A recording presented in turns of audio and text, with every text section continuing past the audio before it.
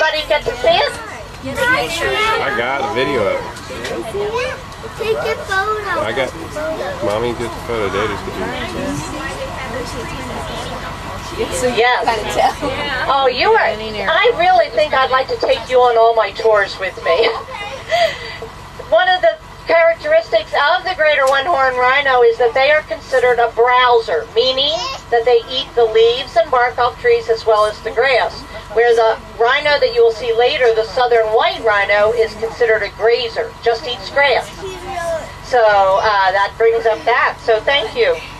You'll you'll notice you'll notice that this rhino almost looks like it has a plate of armor on it, where the southern white rhino has more of a smooth skin. Here, I fixed Gracie. I fixed the.